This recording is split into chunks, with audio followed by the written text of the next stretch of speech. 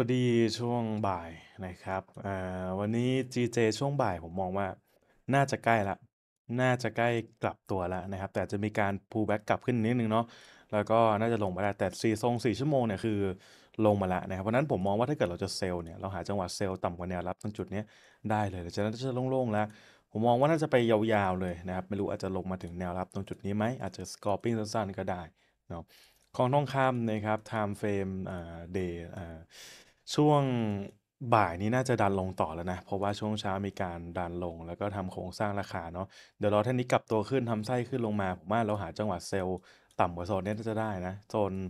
2654 นะครับทะลุโซนนึงเนี่ยหรือว่าชัวหน่อยก็คือ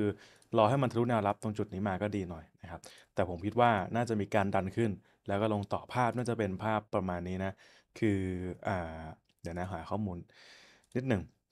โอเค น่าจะเป็นภาพประมาณนี้น่าจะได้ นะครับเนาะ